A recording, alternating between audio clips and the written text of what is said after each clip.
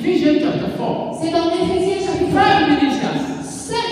That they have servants Et ils ont des serviteurs working not for them, qui travaillent pour eux. but they work for God Mais lui, il travaille pour Dieu. through the ministers. Et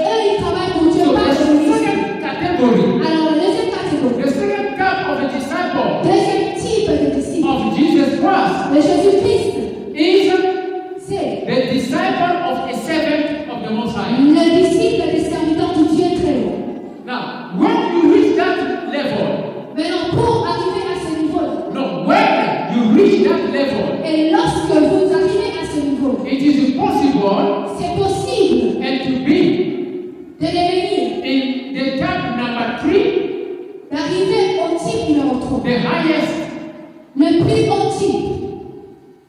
The disciple of Jesus Christ des disciples de